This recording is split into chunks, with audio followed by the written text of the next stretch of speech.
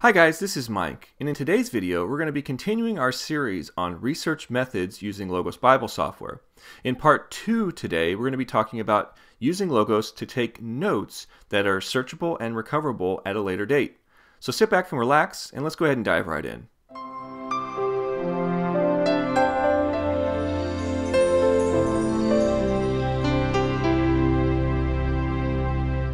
In part 1 we looked at searching and the particular topic we're searching on is the extent of the atonement.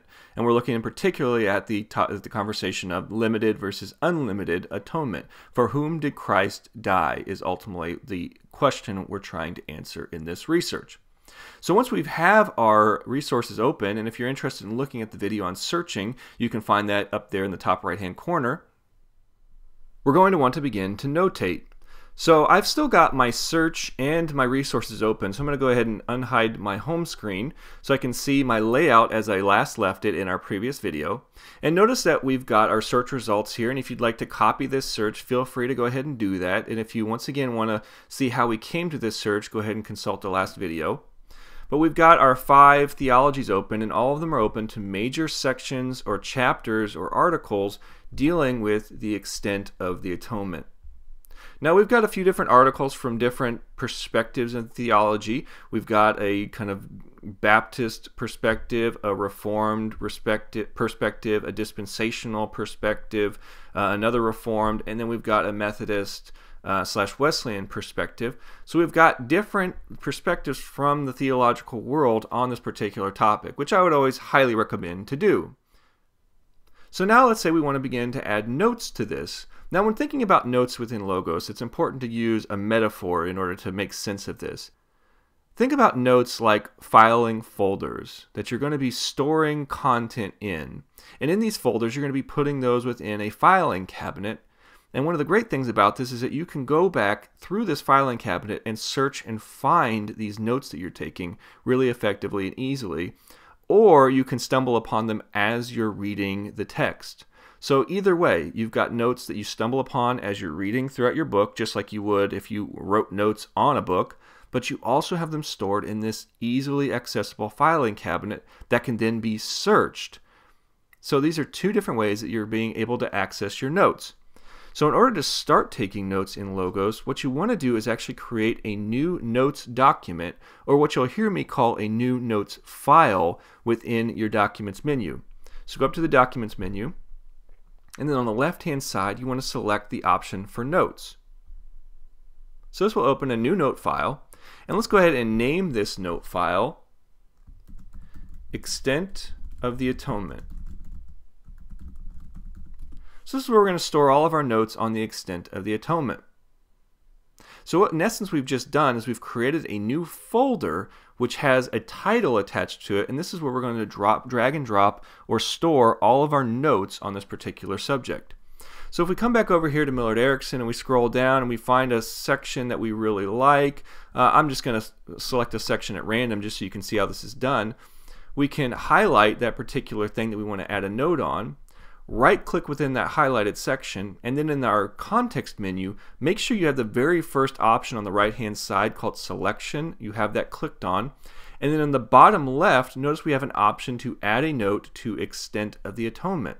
So if we click that, it's going to add a note to our note file. In essence, we've just dragged and dropped a note into our file. And from here, we can add additional content to this. We can say, this is really compelling and obviously you can add more than that. We can also change the title of this note. Notice when you select a section of text, it actually gives you by default a title that abbreviates that section for you. And then we can also change the note uh, highlighting style or note icon style. Over here on the left hand side, notice mine is set to a red square. If we click that, we can change the notes indicator style. So if I'd rather it be a circle, I can change that and I can change it to yellow color. And I can also change it. Notice right now it's set to highlight with note color. I can also set it to no highlight or I can choose one of my available note styles in order to, or highlighting styles in order to mark this in the text. So I'm going to go ahead and stick with no highlight because all I want is just a little indicator of my note. And notice on my text, now that I've changed that, I've got a little yellow circle, and you can mouse over that. It shows you the content of your note. Um, and notice there's no highlighting attached to this now. If I like to keep this note as my default style for all future notes I take in this file, we're going to want to click the icon in our note file again, and we're going to want to select at the very bottom, use this style by default. So I'm going to go ahead and click that. And now anytime I make a note in this uh, uh, note document, it's always going to use a yellow circle with no highlighting. So I can scroll down in this chapter again and maybe I find something else that I like. Uh, maybe I see, oh, here's a conversation on particular atonement, and here's Millard Erickson's ideas on that. Once again, I can right click on that, select add a note to extent of the atonement notes, and now my note has been added to the folder and marked with a special indicator just like it was before. Now, if I go ahead and close my note, so I'm to go ahead and close my note file, I can actually open this note file again by simply mousing over the note indicator within the text. I can click that and it relaunches my notes file just from where I got started. So I'm going to go ahead and go open to uh, GT Shedd's Dogmatic Theology, and I'm going to add another note to this. Same process, add note to extent of the atonement. Uh, and notice within my notes file here, I also have a hyperlinked um, text in the note that has the exact location of where that note is located in the uh, text that I just added it to. So if I want to go back to this note within Millard Erickson, I can click the, the hyperlink and it's going to relaunch Millard Erickson to the exact place where that note occurs. If I want to go to the dogmatic theology, same thing, I'll click the link, takes me right to where I just added my note. So I'm going to go ahead and go through and add a few more notes to um, highlight this for you. Okay, now that we've added some notes to our note file, we've got quite a few from the different resources we have open. Let's say we want to reorganize these notes. Let's say we really want to have this one um, from Ryrie's Basic Theology towards the top of our note file. Well, we can really easily drag and drop these around in order. All you need to do is just simply go over to the, the icon and click and drag it up in the note file. That's one of the easiest ways to do that. So another thing that we can do is we can reorganize these, one by clicking and dragging them, or we can go up to the note file, note document menu, and then sort by the different options. We can sort by reference, or we can sort by title, or note color, or date created, newest oldest, or date modified, newest oldest, uh, so on and so forth. We can also select show citations, so it actually will show the actual citation within the note field from where we grabbed that particular note. So I'm going to go ahead and turn that off for right now and I'm going to sort by reference so that way all of my different references are together. So all of my Erickson notes are together um, and all the different, basically from whatever resource I grab that from.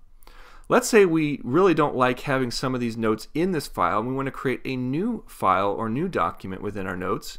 Well, we can go up to our documents, open a new note file, and let's say we want all of our reformed um, reformed views added to one note file.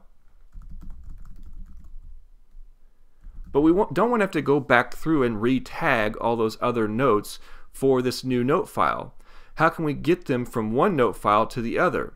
Well, it's really easy. All you need to do is just simply drag and drop them. So I've got this one from the Dogmatic Theology from William G.T. Shedd, and I want to drag that into my Reformed Views note file. Simply click the yellow indicator, drag it over to my new note file, and drop it in.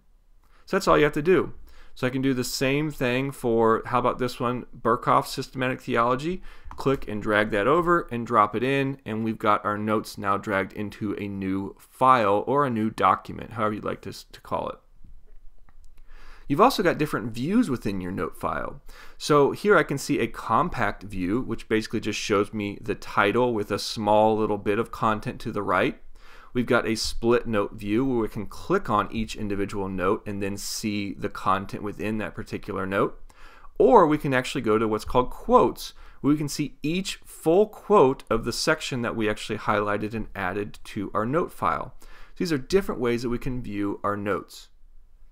One of the ways that we can help to have our notes be more findable is to add keywords and tags to these notes. So in particular, let's add these things to the con to our uh, to tagging. So if we change our view to split, And then we select one of our notes that we've made. Uh, notice this is from Millard Erickson's Christian Theology. We can add a tag down below. And let's name this one Baptist, because this is a particularly Baptist perspective. And we've got here, this is um, Ryrie's basic theology. We can add a tag and say this is dispensational.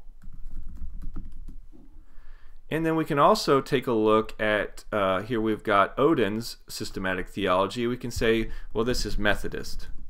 So we've added these tags here to our notes in order to help us find uh, additional options here. So now that we know that we've tagged these, or we can even add additional content to this and say, uh, this is the Methodist perspective. And notice this isn't tied directly to any particular section. I'm just using this for example. We can go ahead and close out our note file. So I'll go ahead and close out my note file. And if we come back and open a new search, we can actually search just our documents. If we go up to where it says all resources, we can change this to your documents. And now let's go ahead and find that instance where we typed Methodist. And notice that we've got a search hit here. So this is actually finding all of the content that we've typed into our note. But also notice we've added those tags. So once we were in our note, we can do a Command F or Control F and then find just notes and filter notes based upon the tags that we've added to them. Notice that this one was tagged Baptist. If we do this instead for Methodist, we can search that and it finds Oden's note. So there's two different ways that we can search our notes, either by the content through our search panel or through a control F that searches tags. So either way you want to go, you can actually stumble upon and find your notes as you're adding them for your research. So I hope that this video was helpful in showing you some of the power and extent which you can go when adding notes to content within your Logos library. If you like this, go ahead and click the like button, or feel free to subscribe to the channel for future videos from this particular series on research methods. I hope that you're more equipped to dig deeper into the depths of the scriptures using Logos Bible software. Until next time.